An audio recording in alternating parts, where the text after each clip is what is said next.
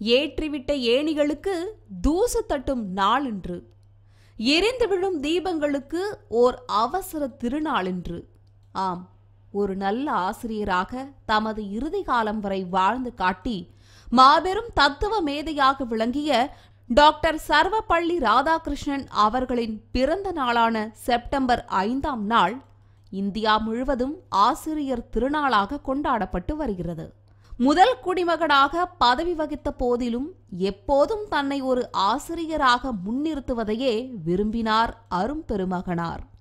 எனவேதான் அவரது பிறந்தநாளை கொண்டாடுவதற்கு அனுமதி கேட்டபோது எனது பிறந்தநாளை தனிப்பட்ட முறையில் கொண்டாடுவதை விட ஆசிரியர் தினமாக கொண்டாடினால் பெருமையாக உணர்வேன் என்றார். அதன்படியே ஆயிரத்து தொள்ளாயிரத்து அறுபத்தி இரண்டு முதல் ஒவ்வொரு ஆண்டும் ஆசிரியர் தினம் கொண்டாடப்பட்டு வருகிறது. ஒரு ஆசிரியருக்கும் ஒரு மாணவருக்கான உறவு வந்து ஒரு அம்மா குழந்தையோட உறவு மாதிரி இருந்தாதான் அவனால கண்டிப்பா ஜெயிக்க முடியும். ஏனென்றா அவன் அம்மா கிட்ட மட்டும்தான் தைரியமா ஃபேஸ் பண்ணி எதனால அவனால கத்துக்க முடியும்.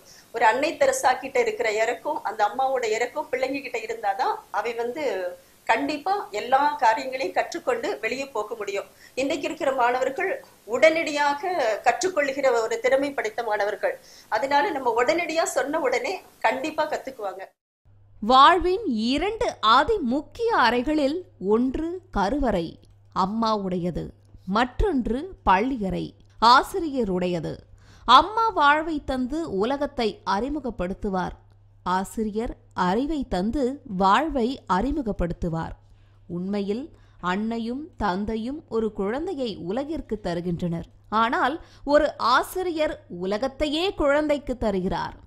ஒழுக்கம் ஆற்றல் ஊக்கம் தன்னம்பிக்கை விடாமுயற்சி பொது அறிவு என அனைத்தையும் மாணவர்களுக்கு சிறந்த முறையில் கற்பித்து பண்புள்ளவனாக சிறந்தவனாக அறிஞனாக மேதையாக உயர்த்தும் ஒரு உண்மையான வழிகாட்டியாக விளங்குபவர்கள் ஆசிரியர்கள். குளத்தில் பள்ளி வேன் ஒன்று கவிழ்ந்தபோது தன் இன்னுயிரை கொடுத்து பதினோரு குழந்தைகளின் உயிரை காப்பாற்றிய ஆசிரியையும் பணியிட மாறுதல் பெற்ற ஆசிரியருக்காக கண்ணீர் வடித்த மாணவர்களையும் நாம் பார்த்துள்ளோம்.